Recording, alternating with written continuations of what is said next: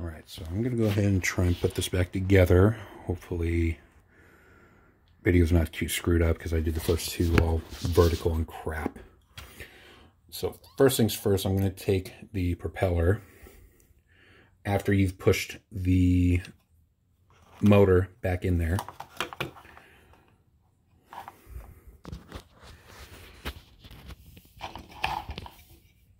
The propeller, obviously, has a hole in it, so you want to basically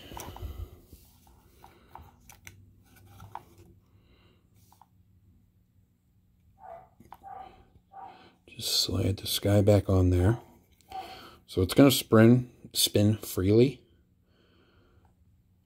And you are going to bottom out and it's going to spin just like this and it'll be fine. You don't have to totally work it on there um, to where it totally bottoms out because you don't want to break anything. You don't want to break the plastic. You don't want to break the housing. If it's on there and it's spinning, you should be good to go. So one thing I should point out on this guy right here, you see that little arrow? That arrow points at that little line right in there. This line absolutely has to line up. See if I can see my screwdriver right in here. Because as this blade spins, it actually shoots the water up here. This is where sorry, the solution actually shoots up into the cleaner. So this pushes the water up in, in here. So as you can see, this helps aid that. It helps shoot the water straight up into the uh, to the pipe. So you have to line this up. So it's it's obviously not hard. All you gotta do is literally just, you know, kindergarten shit. The square goes in the square and triangle goes in the triangle. Nothing, nothing crazy. So as long as you get that lined up, and all you got to do is just pop it on there. So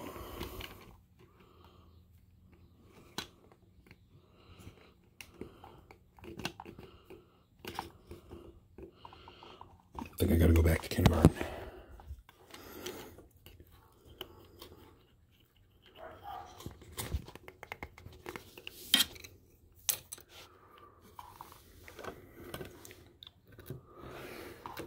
Where in the hell did it? There it is.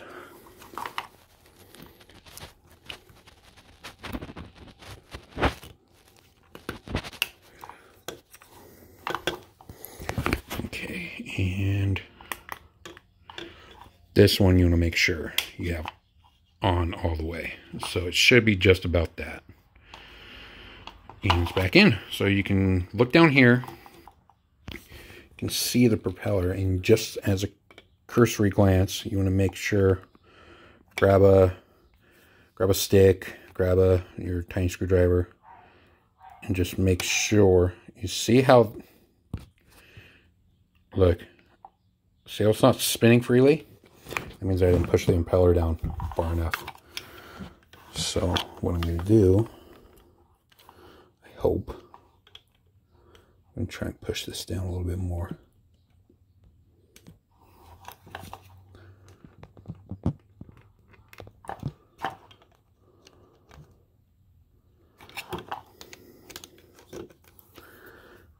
So it was spinning freely before. Whoops. Don't want to do that. Okay, it's spinning freely.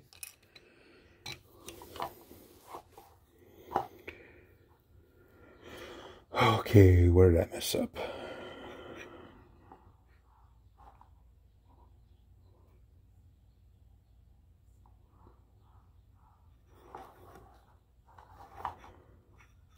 Am I stupid? I am. I am stupid. Okay, so I take that back. So this line right in there actually goes right there. So that's where that goes. So the line has to line up right there in that outside uh, jammer, mamber jammer. There we go. So that one pops in no problem. So here's one more, one more, one more look. Make sure everything's all copacetic.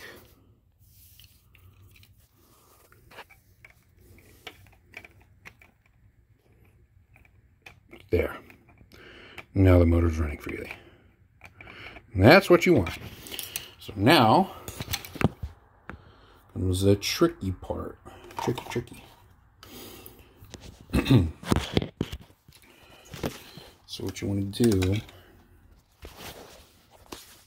Sorry guys, first time doing this. Ooh. So you want to get this back on. So just make sure you have the connectors, everything's connected. make sure, because you will have to take this little uh, O-ring out in order to get the get this out because you do not want to lose that. So if you take that out, make sure you put that back in. Connectors are in, grease is in, everything's looking good. Um, so here we go. Here we go. So I'm gonna put this back in. So this obviously, this obviously goes back in here. That's the easy part. The other part is making sure you don't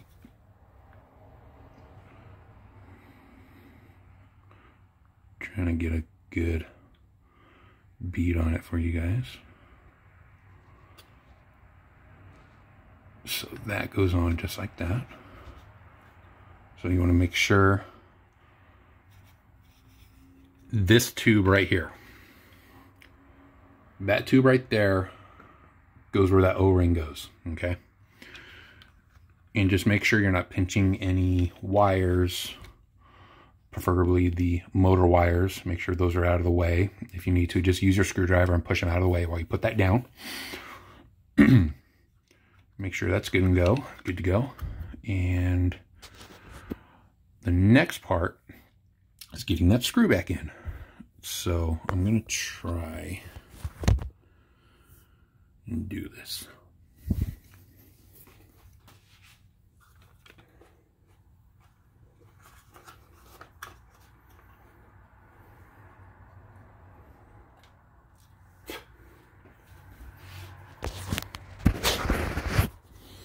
So if you have this upside down, the screw actually sits in the body itself. So you can set that in while you have this upside down and while you're holding the, uh, we're going to call it the cup, I guess, the washer itself. And then I'm going to close the body again and screw that down.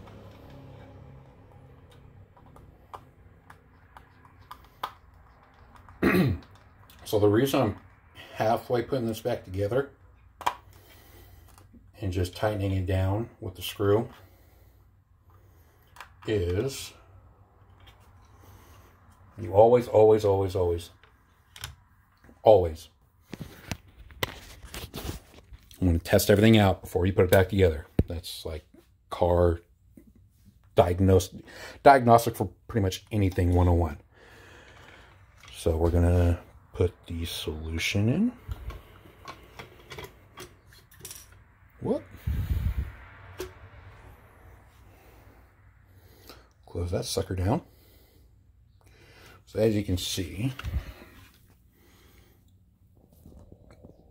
the drain, this guy over here, the drain, goes inside the little hole.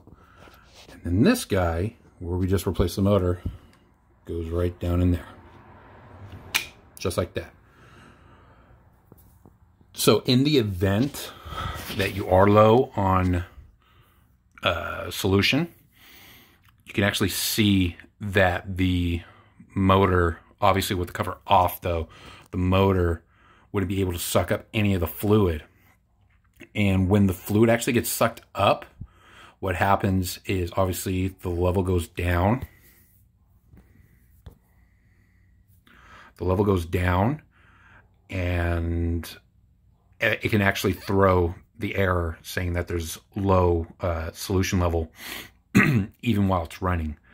Because what happens is I, I, accident, um, I accidentally uh, actually spilled some of this while I was working on this. So this actually should be a little bit higher.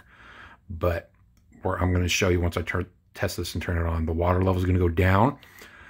The drain over here is going to drain it back in and it's going to do this loop. It's going to stop sucking up solution. It's going to let it drain back down to kind of like give it some time to uh, to sterilize and clean the shaver, obviously. So, so now that's in. Uh, that's down. Everything's plugged in. and I'm going to plug this in.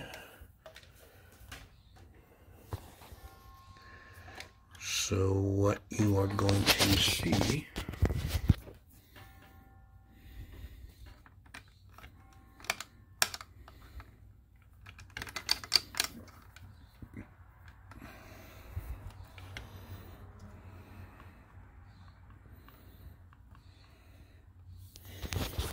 Sorry, trying to do this with one hand. Not working out for me. So you're going to plug that back in, just like that. The light will turn on. You can put this guy, put this guy back in. So the two points go in that slot.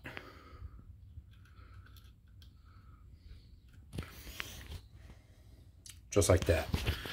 So the little hook, the little J hook, sits on the outside of that, and that's what actually gives it the spring back. So I'm going to hit the power button.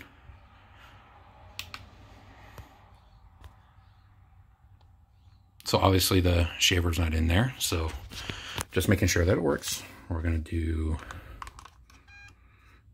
that. Shaver's in, shaver's charging. And now,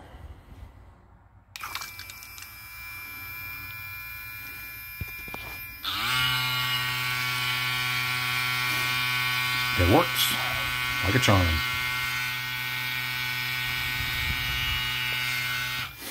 So I hope this was helpful. See, it's still pushing out solution.